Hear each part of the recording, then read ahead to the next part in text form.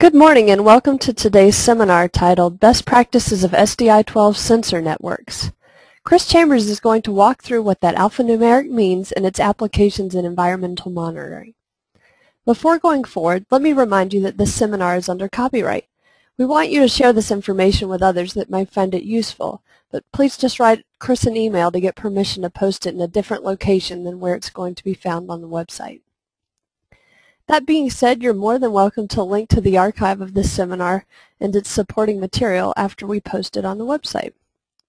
Chris is going to talk for about 45 minutes and leave 15 minutes after that for questions. We're, going, we're also going to have a new forum on SDI-12 where Chris will answer any additional questions you have. At the close of the seminar, a brief survey will pop up. At this time, you'll have the option to request more information about Decagon SDI-12 sensors. And I'll let it go to Chris Chambers. Thanks for attending today. Thanks, Lauren. Um, well, I like to start out by let's just see how much experience people have with this uh, with SDI-12 networks.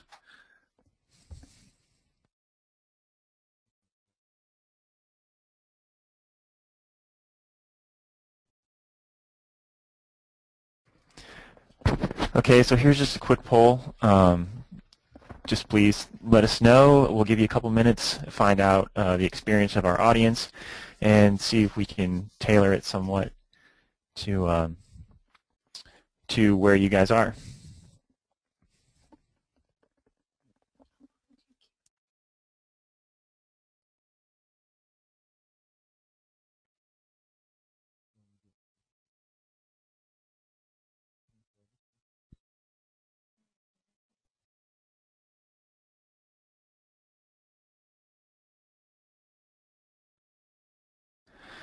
Okay, we're going to close the poll and show it now. We got just most of everybody responded. Um, and here's, so you should be able to see the results for it. Um, so it looks like most people have some experience with it or are intending to use it. Um, with a few of you just finding out some more information. Okay, thanks for sharing that. Um, now we'll talk, I'll just give you a brief introduction of what SDI-12 is, um, what it's what what the pros and cons are, and then we'll talk about building some sensor networks, uh, some of the things that need to go into the design of these networks, and in the end we'll talk about troubleshooting. SDI-12 stands for Serial Data Interface at 1200 baud. Uh, I highly recommend you check out the website www.sdi12.org uh, where all of the standard standard communications are. You can find SDI-12 compatible devices there. It's a great resource if you're going to be using this standard communication protocol.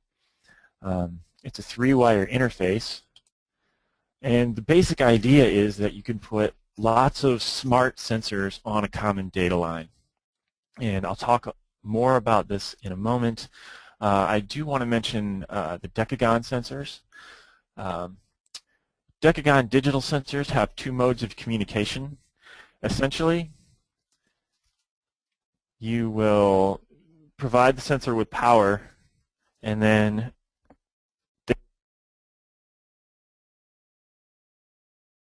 So this is one mode of communication. You give the sensor power and then it just spits out a serial string of data. Uh, and then after it's given you its data, it enters SDI-12 mode. So here's kind of a schematic of what that looks like. Uh, in the first mode of communication and in many serial communication schemes, the sensor is just sending data to your data logger. In this way, you have one sensor on each data logger port. So for three sensors, you'll need three different data logger ports. SDI-12 lets you put all three of those sensors onto one data logger port and it's a two-way communication scheme. Sometimes this means you have to use a different port on a data logger, so it's one thing to look into that's dependent on your data logger. Um, I mentioned that it's a three-wire interface. Uh, so what you have with SDI-12 is your data line, uh, a ground line, and a 12-volt line. And each sensor requires a unique address or a name. Uh, this is how you can communicate with many sensors on the same line. Um, so it's two-way communication between the logger and the sensor. What happens is the logger queries each sensor by its address. So the sensor wakes up and responds to a command from the data logger. There's only one sensor active on the data line at any given time. All of the other sensors are quiescent and basically in just listening mode. Uh, Decagon has currently three SDI-12 sensors, the 5TE, the 5TM, the MPS2. Um, it is a standard communication, so there are other sensors by other manufacturers that uh, make SDI-12 sensors. Uh, there's we have two upcoming sensors that will also communicate in SDI-12. It's our greenhouse sensor, the GS3, and our ruggedized sensor, the RS3. One of the advantages of SDI-12 is that it's a cost cost-effective way to put lots and lots of sensors on one data logger. Now the number of addresses that can be accepted by a sensor uh, vary from sensor to sensor or manufacturer to manufacturer. Uh, the Decagon sensors will accept 62 unique addresses. Uh, that's 0 to 9, then lowercase a to z, and then uppercase A to Z. Uh, it does simplify the programming in some cases, and basically you can have 60, basically 62 sensors on each port. So a, a logger with four communication ports can have almost can have more than 200 sensors on it. Uh, okay, this is the setup. Um, we've got an SDI-12 compatible logger here with two buses. Uh, on a logger like this, there are four communication ports. So normally, without using SDI-12, you could put four uh, four digital sensors on here, and that's it. This particular logger has 10 SDI-12 sensors, or 9 SDI-12 sensors running running on it. Six sensors here going into COM2, three sensors here going into COM1. So you can effectively exponentially increase the number of sensors you can put on one data logger. The disadvantages of SDI-12 are that if one sensor fails or is damaged, every sensor connected to that port can go down until the offending sensor can be removed from the data line. Now I'm sure everybody's in their happy place right now, SDI-12, lots of sensors, yay. Nope, nope, come back from your happy place. If one sensor fails or is damaged, every sensor on that port will go down, just like your Christmas tree lights. So this is the trade-off. If, if SDI-12 were a Faustian deal, this would be the part where you sell your soul to the devil. Okay? So I just want to, this trade-off is the most important thing to consider when you're thinking about implementing an SDI-12 network. So when you're actually networking, um, first you need to select an SDI-12 compatible logger. Uh, your logger manufacturers, there are several out there now, um, they can help you out there. Uh, you'll also need SDI-12 compatible sensors, and then you need to address your sensors. Um, for example, all of the Decagon sensors leave the factory with a default SDI-12 address of 0. Um, if you want to put 62 sensors on, e on one port, you're going to have to give each sensor on that port a unique address. Um, this is easy to do with uh, with the ProCheck. It's a handheld device that we make that um, that, among other things, can address your sensors. You can also do it with a terminal program or a terminal emulator if your data logger has one of those. And then the next thing you're going to need to do is set up your bus. So it's very impractical to cram 62 sensor leads into one terminal. And this is what the bus does. It's just a way to expand that one term, that one port into uh, 62 or 10 or however many. Um, this is uh, one, one of the ones I use all the time. It's homemade. Uh, it has six places for di six different sensors. Okay, so your bus construction is very important. Um, again, it's like it's just a way to get everybody to one place, right? You need a way to get all of your sensors into one port. Um, so just like a bus, it will, you know, carry everybody where they need to go. Uh, but if your bus goes down, you're done, right? All of your that's lots of data that you're not getting. So spend some time on your bus construction. Here's the idea behind a bus. Uh, here we've got sensors 1 through 9, and then A, B, C, D, E. Um, and they wire directly into your bus, and then you have your bus wiring directly into your data logger port. Uh, here's the one I was showing you earlier. Remember SDI-12 is a three-wire interface. So if you're constructing your own bus, all you need to do is have the terminals go to a common line.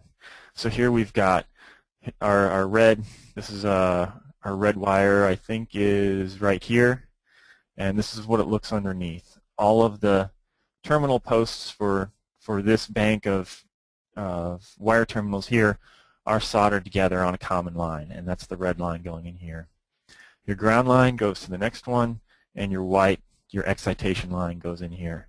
Um, this is a pretty good setup. Um, this bus works very well. Note, I want to point out this part right here where all these wires are crossing, this is fine, but if something moves in this, uh, if this ground wire crosses with this bare part of the red wire, you're going to lose your bus. So even though this is a pretty good, this bus works pretty well, um, you know, this is a warning flag right here. I don't want these wires crossed, otherwise it's not going to make me happy. Uh, here's another homemade bus. Um, basically, anything that works, uh, you can do for the, you can do for this. But you know, I don't know if I want to put electrical tape out in a sensor network in the field. Um, you know, changing temperatures do some pretty crazy things to tape, uh, and if this bus falls apart on you, you're going to lose all of your data for that time period. So, you know, and if you're making a homemade bus, you want to make it to last. Uh, this looks ugly, but this is a really solid, strong bus. I would put this in the field anytime. Note here you've got your white wires all going into a common bank here. Your ground is in the middle, and here's your data line. Um, this is a sketch. This is something we're thinking about doing uh, just as a potentially commercially available bus. I don't know if you're familiar with Decagon's um, stereo connectors, um, but this is one idea for a 10 sensor bus. I think we'll be producing these in, in the not too distant future. Um, this is going to have some pros and cons in it as well, where you just plug your stereo line in, your stereo connector in here. You can have 10 different ones coming in. If you need to troubleshoot, you can just pop it out really quickly and plug it into your ProCheck or whatever. Um, but I really want to just illustrate with this that there's lots of different bus designs. Um, I've seen some that have screw terminals that are just connected by a jumper wire. I think soldering is a good way to go. Um, make sure you have good soldering practices, and I'll talk about troubleshooting a little bit later on. Um, so we showed you the one with all of the sensors going into one bus. Here's another potential idea. This has some advantages and disadvantages. Uh, if you're going to have several several smaller nodes of sensors, it's not a bad thing to bring them in sequentially. There's a couple of situations where this might be good. If you're troubleshooting and you have a, data logger that you can take to each node and plug in at each node, you can start excluding, oops, you can start excluding entire banks of sensors. Uh, this is going to be a pretty good design if you've got sensors that are dispersed along a transect or in small plots or something like that. Um, and a good way to troubleshoot this would be to go to your um, either start here or start here, connect another logger with the test program, and see what sensors you get. Now remember, say if sensor 9 goes out, none of these sensors are going to be able to report. So you can check here. Oh, If you connected here, you would get three good sensors. If you connected here, you would get six good sensors.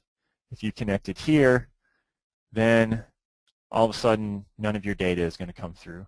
So you know the problem is right here.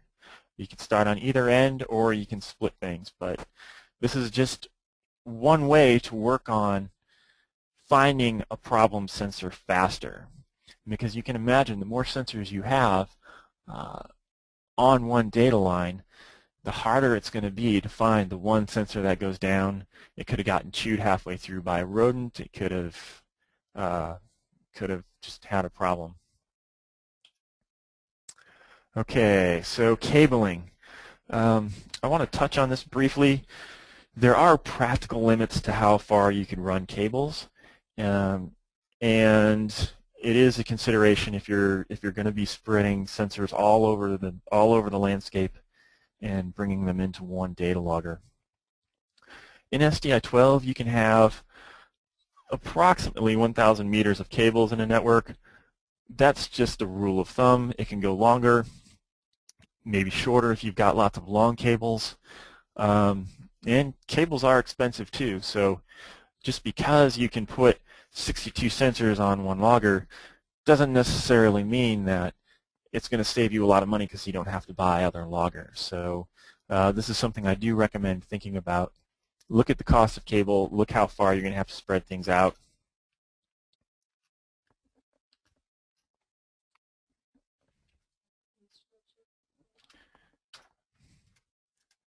Okay, here we go.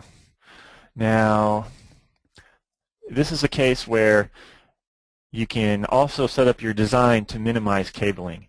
If you had a separate cable running from each of these, from this bank to this bank to this bank into your data logger or into another bus or a node, um, you're going to have longer cables and it's going to, you know, it's just going to add the time it takes for a signal to go all the way down here and all the way down here. Because keep in mind, when they're trying to wake up a sensor, it's talking to the entire network. Say it's trying to find sensor C right? So the signal is going through the entire network simultaneously. So um, you do want to consider your cable lengths when you're when you're designing your sensor network. Okay, so spread the risk is one recommendation I think that that I try to get across to customers that are using it that are going to be using SDI 12. Um, just because you can put 62 sensors in one port doesn't mean you have to. If you have four available ports, spread them to every port. It just minimizes it just minimizes the damage will do if one sensor goes down. Now, you know, you need to think about troubleshooting as well because sensor failures do happen. Rodents chew cables. We have about a 1 to 1.5% failure rate here with Decagon sensors. So if you're putting 100 sensors out, odds are you're going to have a problem with one sensor, and that can be a big deal in SDI 12. um, I recommend that you have an independent way to test sensors. Uh, if you're using Decagon sensors, I highly recommend a ProCheck. I would give these things to everybody that has a large SDI-12 network if I could. Um, but uh, we will give you a discount if you have larger sensor networks. So please check into a ProCheck if you're using Decagon sensors in SDI-12. Um, try to find some way of independently reading sensors if, you, if you're not using Decagon sensors, uh, preferably portable. It's nice to just be able to go out, unplug one sensor, and test it and make sure it's doing what it is supposed to be doing. Also, test your bus.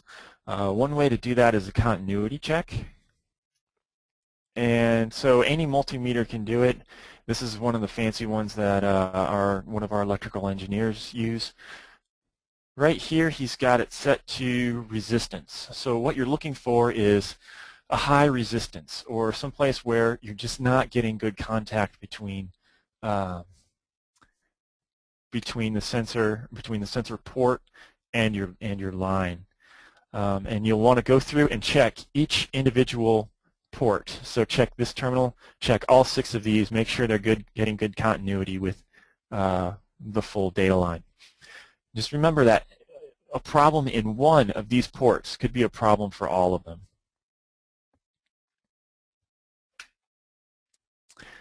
Okay, I want to stress how important it is to have an independent way uh, to test your sensors.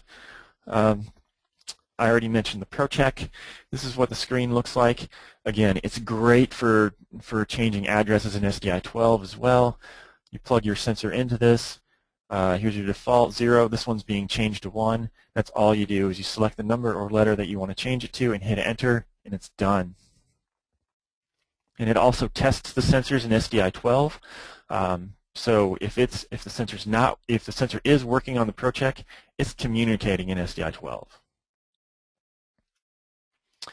Um, this I want to show this because these are some of the things that can happen with a bad bus. Um, and before I made the the the bus I showed you earlier uh, with with the six sensor bus, um, this is some data in SDI-12 from a sensor network on a homemade bus that I made that was not well constructed. And you can get some odd things. Um, notice here that uh, this would be where your water content numbers are. It's not coming up as anything, but you are getting data. So there's a sensor here that is getting a signal through. Um, it's hard to tell exactly what the problem is with this bus, uh, whether it's not getting power, but notice a temperature reading is coming through here, so you can get some very odd readings. You know, it looks like it's almost working, but and I tested all these sensors later, put them on a good bus, and they all ran fine. So uh, putting a good bus out in the beginning is important, but also being able to, to test it and test your sensors individually is also very important. Okay, some questions to ask before you go into SDI-12 to find out if it's going to be right for you. Um, is it hard to access your data or your field site? Uh, you need to be able to get a keep a close eye on your data. Um, how bad is it to not have data? If you can't get to your field site for a few days and you have a sensor problem, uh, how important is it going to be to lose all the sensors on that port for that problem? Um, if every single piece of data you have is critical, SDI-12 might not be the best plan for you. And again, how hard will it be to find a problem uh, if one arises? Are you going to have hundreds of sensors with you know a full kilometer of of cables going out? You know, SDI-12 might not be the best option. And I don't want to discourage anyone from using SDI-12. It's a great protocol. We have lots of customers that use it and use it successfully. Um, but there are alternatives, and some places the alternatives are, are better than SDI-12. Say you have a highly displaced network of plots. You know, there's a lot of good wireless networking options out there right now. Uh, lots of data logger companies are getting into that right now, so you can probably find a wireless option if you've got highly dis dispersed sensors. Um, multiplexing is also an option in, in many different systems where each sensor is is read individually and they're not on a common data line. Uh, so some cases that might be the best option for you, particularly if you're not going to be able to check your data frequently uh, or if your data is your the most data is very important. So if you can't afford to lose any data, you might consider multiplexing or having more loggers out on the landscape. Okay, I believe in quizzes. So uh, question number one, and we'll set this up as a poll again. Um, SDI-12 lets you put 62 sensors on one port and greatly reduces the investment in data loggers required for large sensor networks. True or false?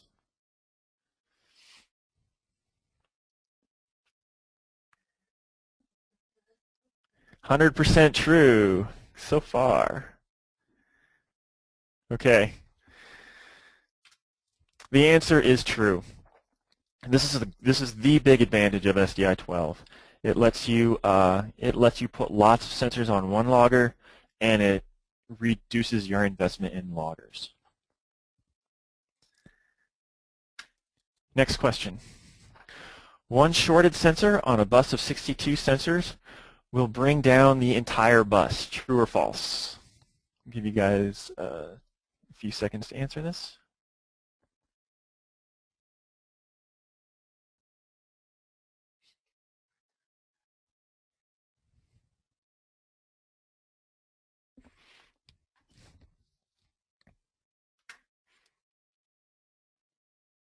Oops, sorry, I just went back there. Okay.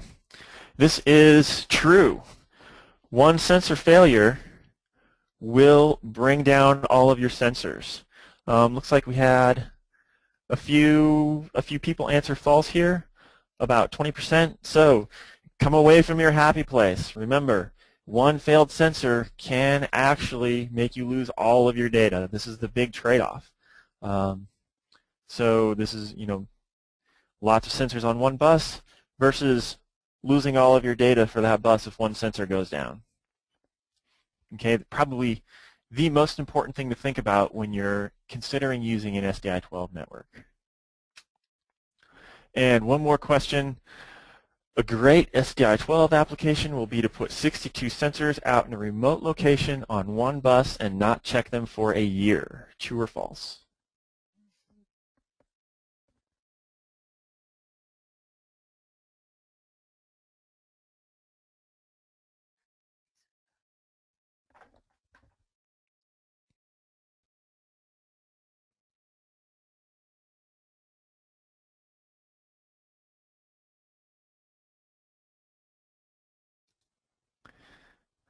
Okay, and you should see the results from that.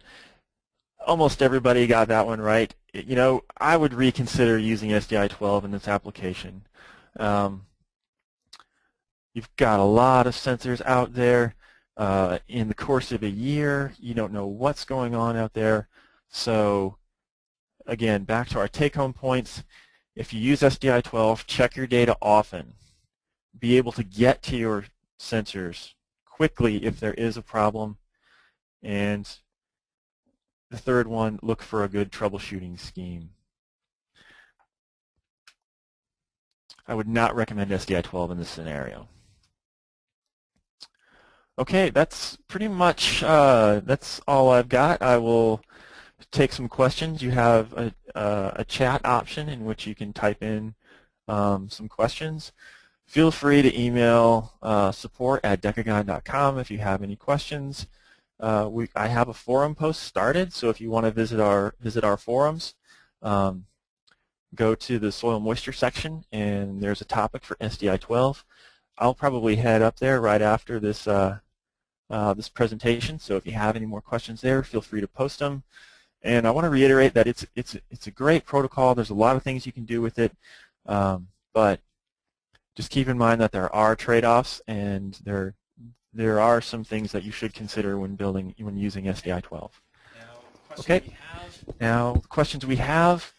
Uh, one, good uh, one good question is how hard is it to pinpoint a faulty sensor? Um, and that this is where your network planning comes in.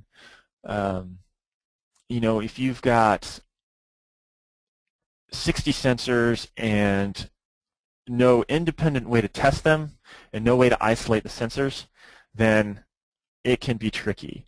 Uh, if, if all you have is the data logger and you're certain that data logger is working well, then I think the place to start for sensors on one bus is to keep your program running or have a test program that you can load your to your um, to your data logger and just unplug one sensor at a time.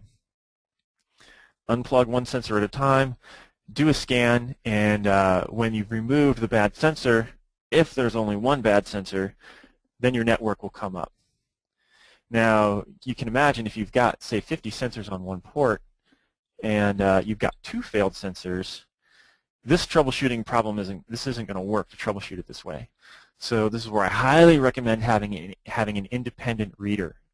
Um, if you're using Decagon sensors, the ProCheck is indispensable. So please, please, please, if you're buying lots of sensors, purchase a ProCheck as well. Okay. If we don't want to build our own bus, where can we purchase one? Um, actually, that's a great question. I don't know of any I, I, I don't I, this just because I don't know doesn't mean they're not out there, but I don't know of of a of a um, of a commercial commercially made bus like a three-wire bus that specifically has three separate banks of terminals with common lines on them. Um, we're going to make one for, but you know, it'll only be used for our sensors. Um, most data logger manufacturers that I've talked to have recommendations. Uh, so I do recommend that you talk to your data to your uh, to your manufacturer. Probably one of the easiest ways to make a bus is to have independent screw terminals and put a jumper between them. Um, that's a pretty good way to go, but uh, um, but you know, and there, there probably are some out there, ask your data logger manufacturer first. Okay.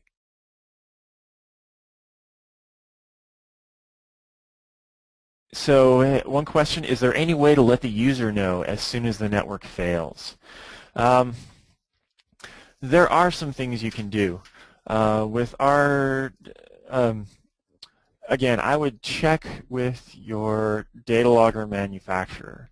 Um, there are some programs that you set up. Um, again, this is, this is dependent on the data logger, uh, but there are some programs that you can set up that will that will notify you um, if you have communication. If you have a way, if you have your logger connected to the internet or a cell network or a satellite network, um, you can you can design some programs to send up red flags or send you alerts if there if you do have a problem. Uh, that would be a great way to go. Um, if not, just check your data every day if possible, or weekly, or whatever basis you need uh, on the scale that you cannot lose data. Um, can SDI-12 protocol be used in a wireless application between a powered bus and a data logger? That's interesting. Um, I'm not familiar with the powered bus idea very well. Uh, I imagine that you can run your your sensors off of um, off of a separate power source. I haven't done that before. Um, I think I would want to play around with it before I committed too much to that. But the wireless application is going to mostly, you're going to have to have some kind of data logger or, or data reader there. Um, I'm not familiar with any of those, but I'm that say, I, I, I, I suppose you mean in a wireless sensor node. Um, gosh. I would think you would need a data logger in these applications, and then that would, if you wanted a wireless option, that would have to have wireless, a wireless capability.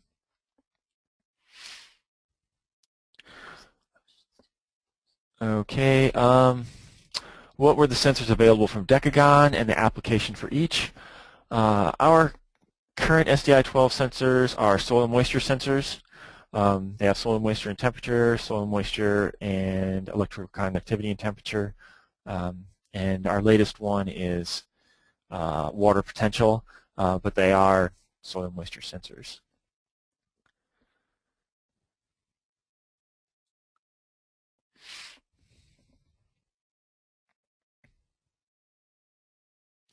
Um, the question, is there a priority in placing instruments in a bus? For example, the first instrument to be read need to be placed first in the bus, etc. No. Um, there is no priority as far as the system working. Uh, but for troubleshooting, I highly recommend that you have some kind of sensor labels or position in the bus so that you know which sensor goes where and which sensor has which address. Um, that will make your troubleshooting troubleshooting much easier. Uh, could you not use a small household electrical panel, such as a sub panel, as a bus? Sure. Um, you know, as long as it has a common line for all of your sensor terminals, um, excuse me, you can use pretty much anything you want. You could actually solder all of your all of your um, red and white and ground lines together if you wanted to, I do not recommend doing that though. Um, but uh, sure, there, there's a high, there's a lot of uh, flexibility in what you make as your um, as your sensor bus.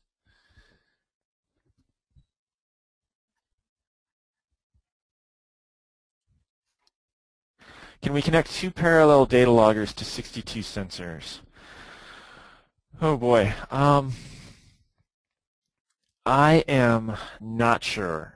Um, you know what? If you want to post that on the forums, I will. I will check with a couple of our engineers and some of our people who data who do uh, a little more technical things with data loggers and check with them on that. Uh, but I'm not sure about the answer to that one. So it looks like we're getting to most people's questions. Um, oh, here's a here's a here's another interesting one. Could you have more than one type of SDI-12 sensor on the same port? Uh, yes, uh, you can actually. Um, I've done this. It works. The main the main issue you need to consider here is data storage. Um, so say one sensor I've used sends back three uh, three readings. Another sensor I used uh, sent back five readings. They were both on the same port. Um, same, S, you know, they had different SDI-12 sensors. One of these were actually a, um, uh, a tensiometer, uh, an SDI-12 tensiometer, and one of our sensors. And yes, you can use more than one sensor. You're going to have, you know, some data storage issues. Uh, that, but that's the main problem you need to work out and keep your troubleshooting in mind when you do this.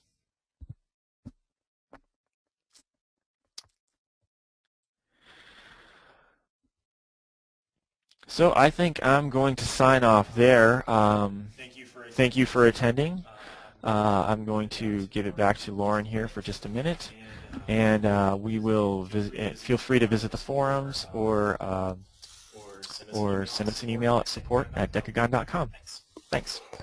Thanks again, everybody, for attending, and thanks, Chris, for, for doing this virtual seminar today. Uh, If this is a really new, well, it's, it's new to Decagon, at least in the past couple of years, and we're having a lot of fun with this protocol. We're learning a lot about it. Uh, we hope that you guys use it in the right applications and call us if you have questions about if your application is the right one or not, if you still have questions after the seminar after this, if you have any uh, questions or you want some more information about our sensors, the survey is going to ask about that. That that's all the survey asks. So if you don't have sensor questions, don't don't worry about it. You can write Chris directly at support at decagon.com with additional questions or just post them on the forum. Or you can call us at 1-800-755-2751. Thanks again, and I hope we see you again at a next seminar.